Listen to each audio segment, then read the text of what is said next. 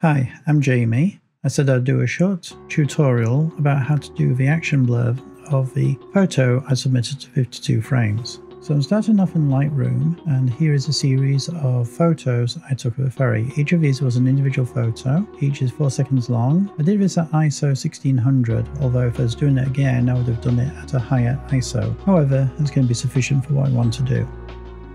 So I want to select all the photos for this.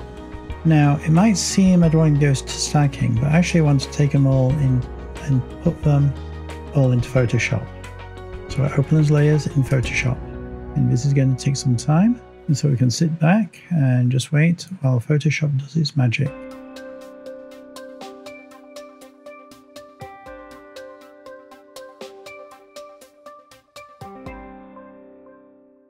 All right, we are back. Now, something to note here is I actually took these photos of a ferry leaving as opposed to a ferry arriving. So the ferry in dock is the first photo. And then as we go through the photos, we end up with ferry leaving.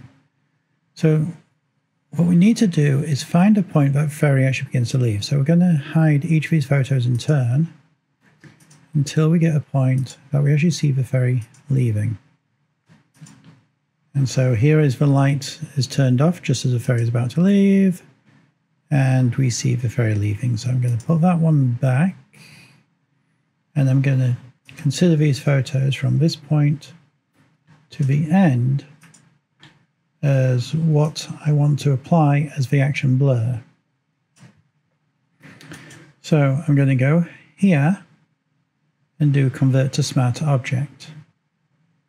An alternative way I can do this is actually to go into layer and go to smart objects, convert to smart objects. So there's multiple ways of doing this.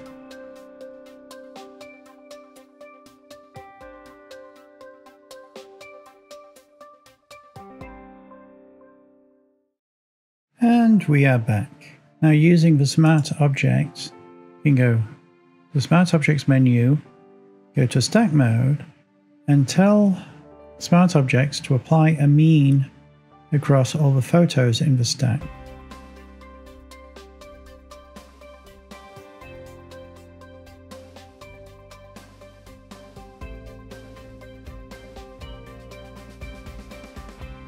And we are back, and as we see, we see the ferry blurred. But now the problem is we don't actually have the ferry at the end, we just see this blurry ghost of a ferry. So what we need to do is actually bring this ferry back. Now I think first of all, let's go and commit this stack. This is an optional step. A rasterize layer.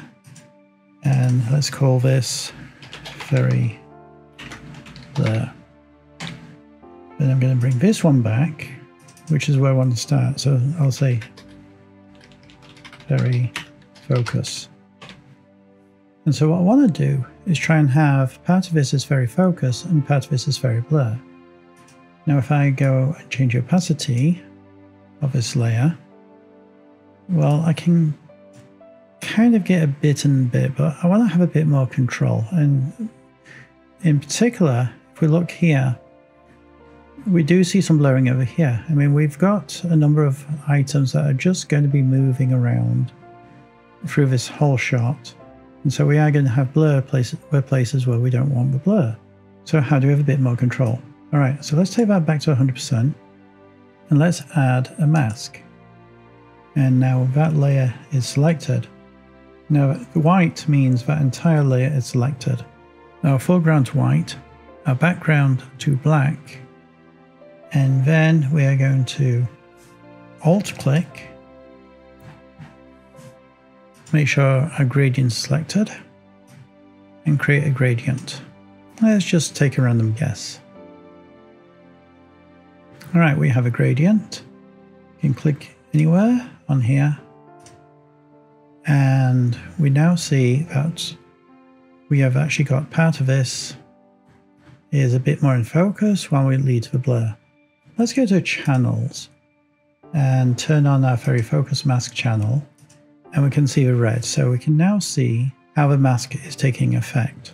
Now I want to actually change that mask a little bit. So let's do this and I'm going to show a different technique here. I'm going to select Ferry Focus Again, I'm going to check my white and my black, select my gradient, and then I'm going to start here and just kind of go this way. See, I've got more control. And let's try this. Oh, interesting. No, I think I'm going to go with this one. Right here.